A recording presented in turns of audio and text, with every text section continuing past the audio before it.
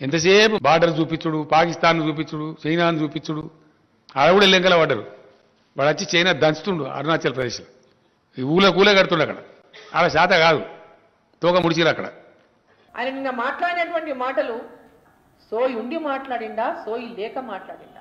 నరేంద్ర మోడీ గారు ప్రధానమంత్రి అయిన తర్వాత ఒక ఇంచి భూమి కూడా శత్రువులు గుంజుకునేటటువంటి విషయాన్ని నీకు ఆ మాత్రం జ్ఞానం లేదా నీకు? ఈరోజు సైనికులను అవమానిస్తావా నువ్వు? సైనికులను అవమానించే విధంగా నువ్వు మాట్లాడతావా?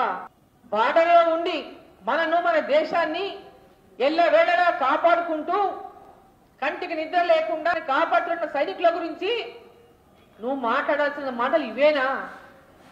మరి నువ్వు దేశద్రోహి అనుకుంటే నేను ఏమనాలా? గాల్వన్ వ్యాలీలో సంతోష్ బాబు శత్రు సైనికులతో పోరాడి అమ్మన వీరుడైన సంతోష్ బాబు గురించి నీకు గుర్తు లేదా? ఏడ్చడంటే ఒకరేటపులేనా ముసలి కన్నీరేనా? మీరు గాచే కన్నీరంతా.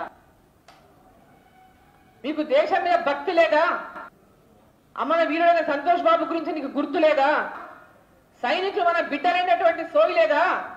మన ఆహార నిషాలు మన దేశాన్ని కాపలా కాస్తున్న మన సైనికులను అవమానించి ఒక దేశ ద్రోహిలాగా నువ్వు మాట్లాడి మళ్ళా నువ్వు ఎదురుదాడి చేస్తే ప్రజలు నిన్ను గమనించరా?